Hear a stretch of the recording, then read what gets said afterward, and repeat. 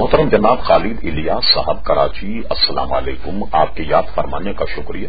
آپ کا ایک سوال موصول ہوا، جواب حاضر۔ آپ نے پوچھا، کیا میری شادی میرے نانا کے بھائی کی بیٹی سے ہو سکتی ہے یا نہیں؟